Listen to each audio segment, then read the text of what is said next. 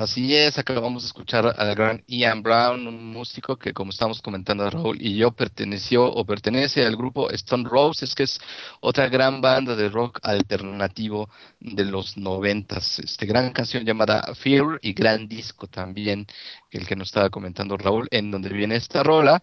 Y bueno, Hoy cerramos con, eh, con economía, con nuestro experto economía, César Iglesias, y su sección Ecomunica. ¿Qué tal, César? ¿Cómo estás?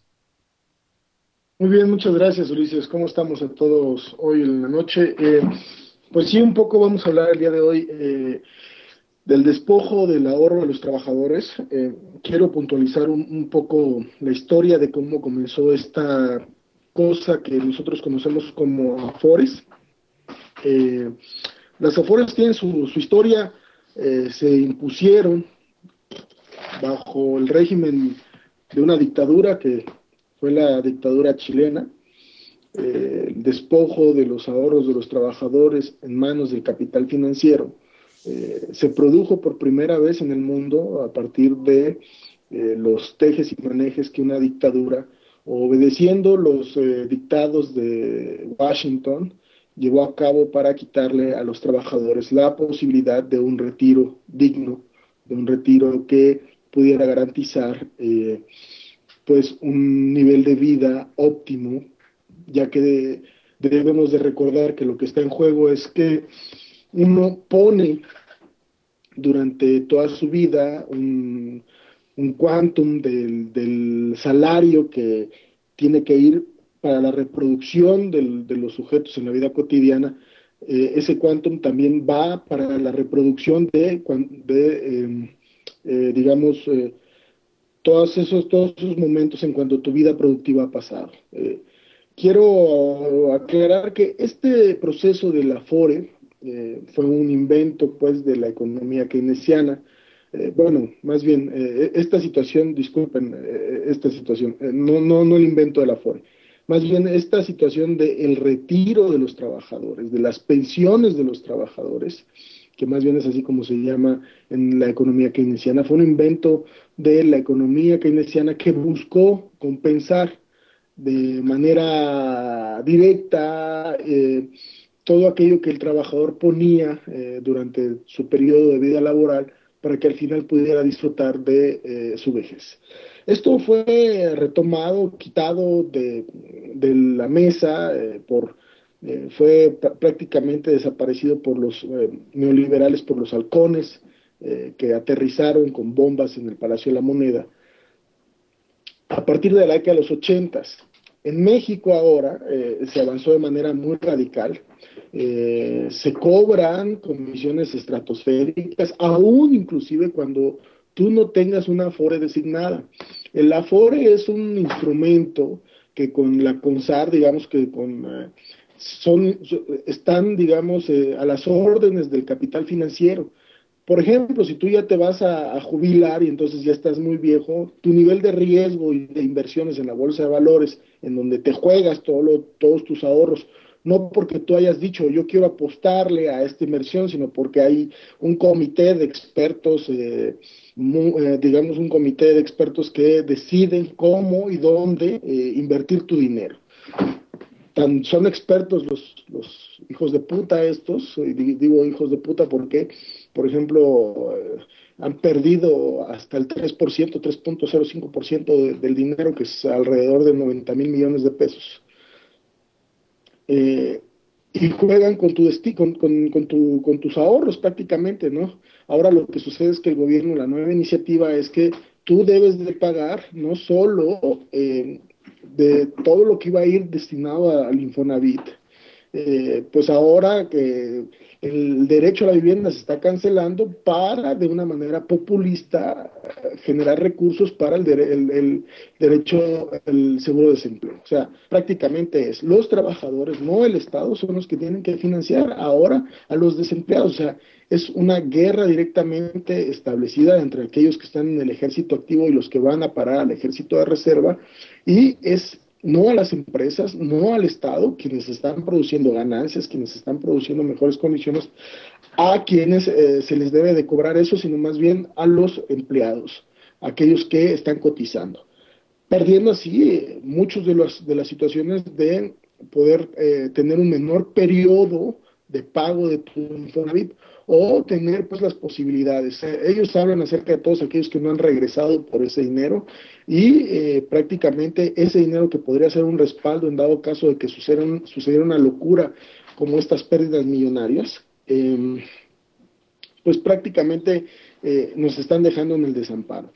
Quiero puntualizar una cosa más. Eh, de, para que nos demos cuenta, 10 millones de cuentas no han sido, eh, no han sido eh, canalizadas hacia estas situaciones porque los trabajadores no han ido a pedir esta situación.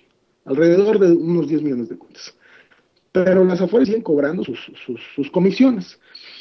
Del total de inversiones que debería de estar generando los bancos para, inversión, para, para inversiones en, en, digamos, efectivas, redituables, solo se está llevando 100 millones de pesos en esa situación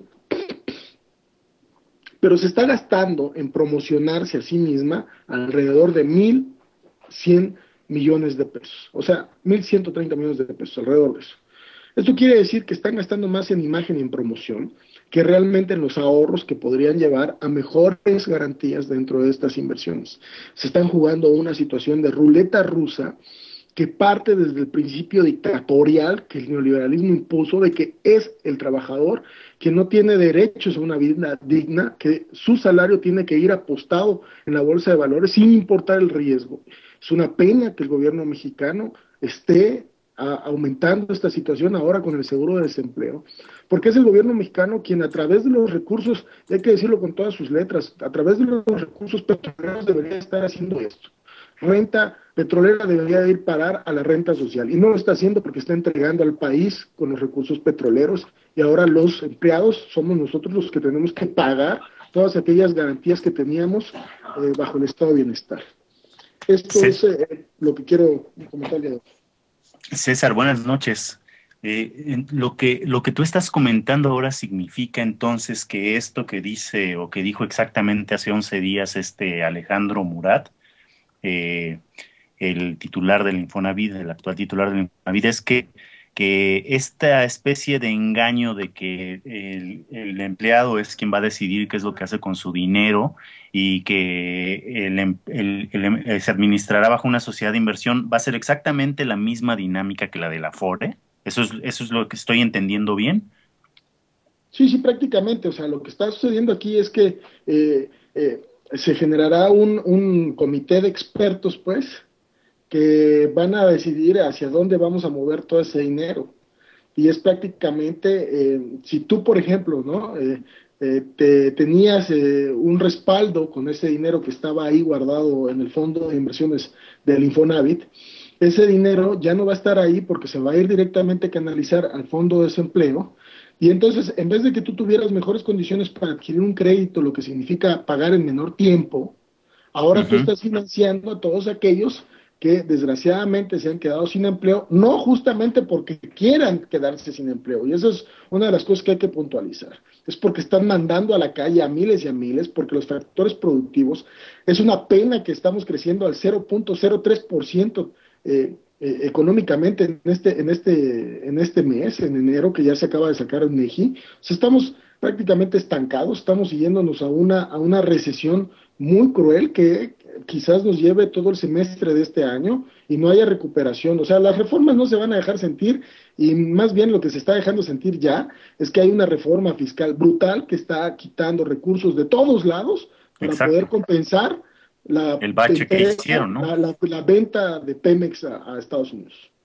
Sí, y entonces este, este boquete fiscal enorme que dejaron, pues lo van a agarrar de donde puedan, o sea, literalmente o vulgarmente, como se dice, están generando el dinero de los trabajadores. El problema está de que, por ejemplo, con las Afores, mira, las Afores nos chingaron 90 mil millones de pesos en unas pinches inversiones pendejas que no, nadie sabe quién hizo, porque además no hay forma de recuperar ese dinero en el sentido de que el pinche mercado te dice y regula hacia dónde van a ir. O sea, son inversiones que un comité de expertos eh, pueden agarrar y decir, nos chingamos 90 mil millones de pesos. En este país por tan corrupto, por cierto. Ahora, ahora, ese sentido, en el sentido del Infonavit, es, tenemos este fondo que no está siendo cobrado porque hay muchos trabajadores que no han regresado, pues vamos a, llevarlo a un fondo en donde podamos arriesgar el dinero para poder generar este seguro de desempleo. O sea, si generamos inversiones eh, de riesgo, tenemos dividendos y eso podríamos tener ahí es de estos dividendos, de estas inversiones de riesgo, la forma en cómo pagar el seguro de desempleo. Hijos de toda su puta madre, porque evidentemente esta lana debería estar saliendo del Estado, no debería estar saliendo de arriesgar nuestros, nuestros fondos, eh, por ejemplo, que del salario indirecto que el Estado keynesiano por lo menos respetaba. Estos cabrones eh, están llevando a un extremo, nuestro dinero está siendo arriesgado para poder compensar que la economía no crece. Por cierto, la única que está manteniendo en pie es la manufactura y eso porque lo está, están eh, manteniéndola de, de, alfileres. O sea, la economía mexicana está hecho un desastre y eso lo están reconociendo todos. Y está grave que salgan a decir que van a gastar el dinero de los el dinero de los trabajadores en, en, cacería de brujas. A lo, a lo mejor lo van en, aprendices de brujo, perdón. Ahora quizás este, van a decir vamos a, invertir en Shell, vamos a invertir en, Exxon para ver si así podemos recuperar un poquito del dinero que nosotros estamos regalando pues sí está muy, muy desalentadora la situación y tal como nos estás platicando, pues más todavía, porque a final de cuentas nos damos una pequeña idea, pero como estás describiendo con ciertos pormenores cuál fue la operación que se realizó con el Aforo y lo que espera eh, próximamente para el seguro de desempleo, pues estamos literalmente en la olla. Pues sí, es, es muy duro lo que estás platicando, César pues mira, hoy por hoy terminamos. Yo pienso que probablemente podemos seguir abordando este tema si no tienes inconveniente, porque es un tema que da para, para más. Eh, en, la siguiente, pues mientras tanto, pues te agradezco muchísimo que nos hayas traído el día de hoy esta reflexión, este, y seguro que nos vemos en la siguiente, en la siguiente sesión. Pues sí, mira, este, pues estaremos aquí, evidentemente, tratando estos temas. A mí lo que más me enoja también es que eh, es la clase trabajadora la que no se da cuenta, o si se da cuenta le vale perfectamente madre, y no trabaja porque eh, sus derechos laborales, estamos hablando de nuestras vejez, o sea, de nuestra vejez, estamos hablando de nuestro futuro, eh, no tengamos dignidad para poder respetarnos, no tengamos dignidad para poder defender lo que sea nuestro. Eso es lo que lamentablemente deberíamos de estar aquí. Eh, pues esto no, esta situación no debería suceder. Pues sí, bastante lamentable, este eh, César, lo que estás comentando y, y, bueno, este, desde el punto de vista económico, pues ojalá nos sigas iluminando, porque también pues una de las cosas que eh, es el plus de, tu sección es que das unas versiones diferentes de los puestos expertos que le dicen a todo el mundo que todo va a estar bien y que con las reformas prácticamente se nos van a llevar los bolsillos de dinero por lo pronto. Pues muchas gracias César y gracias por haber cerrado este programa. Buenas noches. Pues, buenas noches, mucho todos. Buenas noches César. Pues nos vamos por hoy con música, ¿no, Ulises? Sí, este, gracias a ti, Raúl, por haber estado, a todos nuestros colaboradores. Este, gracias también a eh, Diana Maya en las redes sociales, a nuestra excelente continuista Noemí. Eh, gracias también a nuestro productor Carlos Garza y a nuestro hoy ausente en el micrófono compañera Marta, que nos hizo favor también de participar haciendo el guion, colaborando con el guion del día de hoy, como lo hace eh, cada, cada programa. Eh, muchas gracias, Raúl. Y bueno, pues sí, nos quedamos, nos vemos en la próxima sincronía. Nos quedamos, eh, si nuestro productor Carlos Garza nos hace el favor, nos quedamos con Howard Jones, y, eh, perdón, Howard Jones y una canción ochentera que se llama Mama Look, Raúl. Sí, pues buenas noches a todos y los dejamos con esta música. Hasta luego. Hasta luego.